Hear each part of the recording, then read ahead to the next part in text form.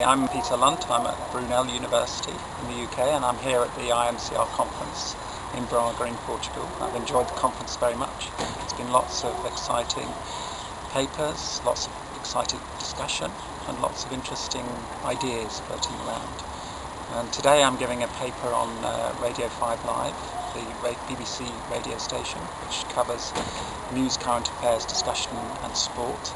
And I'm mainly focusing on what role this uh, program plays in configuring the nation and trying to sort of include a diversity of different voices, to give voice to different people.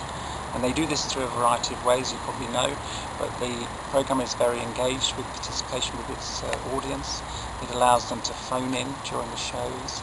It allows them to, to, to uh, uh send emails, uh, texts, to, to go on Facebook. It's, it's very open using lots of new media techniques to engage its, its audience.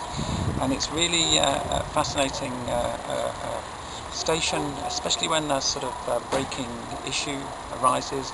Tony Blair's uh, evidence to the Iraq inquiry would be a good example, or uh, the recent sort of uh, case of Raoul Moat. Suddenly, when something's happening in the nation, it becomes a kind of conduit for public discussion and, and, debate. So I'm interested in that, and I'm interested in the opportunities that it gives to, to, to, to people, but also sort of the dangers, the dangers of populism, the dangers of uh, emotional uh, excitation, everyone getting very sort of moral panicky about particular issues, and its relationships to traditional news and, and, and journalism.